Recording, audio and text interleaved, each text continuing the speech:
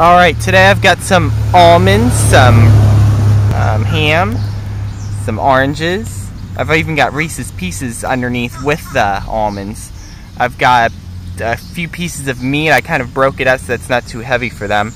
And I've also got cornbread with some icing, some almond icing actually, some cereal, some pasta, some more noodles, and and some popcorn. I gotta go because I got school today, so enjoy.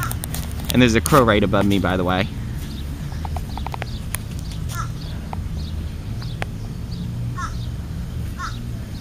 Go, go, go, go.